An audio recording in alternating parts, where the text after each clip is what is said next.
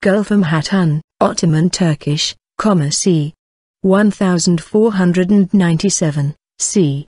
1561-62, Gülfem meaning like rose, was the second wife of Suleiman the Magnificent. She was the mother of Şehzade Murad of the Ottoman Empire. Some claim that she was a Sicilian or Polish originally named Rosalina, thus referred to as Sicilyalı Rosalina or Polonyalı Rosalina. The Ottoman inscription, vakfiye, describes her as Hatun binti Abdullah, daughter of Abdullah, but on her tomb in Üsküdar she is described as Hatun binti Abdurrahman, daughter of Abdurrahman, which means that her father was possibly a Christian who converted to Islam. According to an interview with Saide Perizat Temrukoğlu, a descendant of Mahidevran, Gülfem was the daughter of an Albanian bey, originally named Ayşe Yılmaz Öztuna, an Ottoman historian, writes that she was the daughter of a prince named Murad and was married to Sultan Suleiman in 1511 but gives no original name. She gave birth to a son,